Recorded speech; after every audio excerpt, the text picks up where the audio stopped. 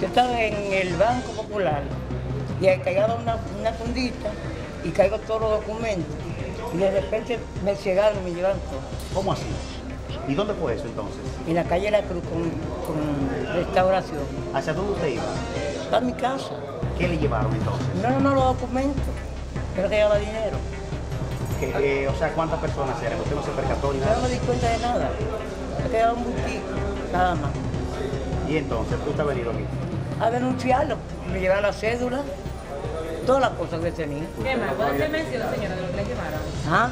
Me llevan la cédula, eh, el carnet de, de Senasa, eh, la cédula, ¿verdad? Ajá, ajá. La tarjetita del Banco Popular, me llevaron la tarjetita de la comida. Ya, ¿Qué le pide usted a las autoridades? no, que vine a denunciarlo. No. ¿Logró usted identificarlo? No, no, no, no, no, no, yo no lo vi. ¿De dónde es usted, mamá? De la noche arriba, ¿Qué decir ante esta situación de robo, de atraco? ¿Eh? a un país, ¿Cuál es el nombre suyo, mi doña? ¿Vivimos en un país? María Rosario, un país de delincuentes.